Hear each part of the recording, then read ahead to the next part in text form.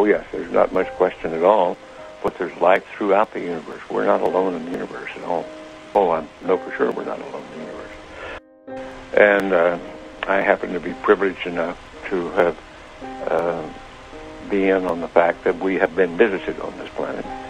And the UFO phenomenon is real, although it's been covered up by our governments for quite a long time. Do you have any idea where the uh, S-4B is with respect to Semi. There was something out there that um, was close enough to be observed, and uh, what could it be?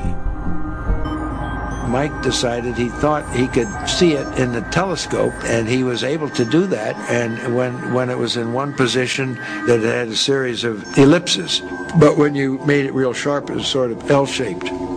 That didn't tell us very much.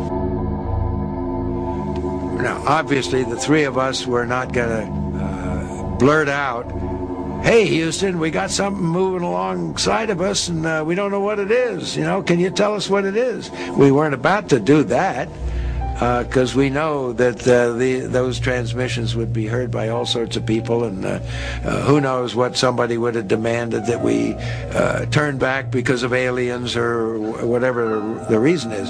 So we, we didn't do that, but we did uh, decide we we just cautiously ask Houston, where, how far away was the S-4B? Apollo 11, Houston, the S-4B is about 6,000 nautical miles from you now, over. And a few moments later, why they came back and said something like it was 6,000 miles away because of the maneuver. So we, we really didn't think we were looking at something that far away. So we decided uh, that after a while of watching it, uh, we, it was time to go to sleep and not to talk about it anymore until we came back in, in debriefing. Okay. Okay, verify SRC plus D badge. What are those things going over? What is that, Jack? Hey, something just get here. What blue? Hey, what is that? Oh, your, uh, your antenna. On the limb? No, the, the one you deployed.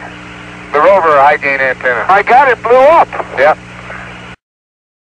Looks like you got an object right in front of you, Mark. Can you look out there? I'm not sure what you're talking about. Never mind. Oh my god, this is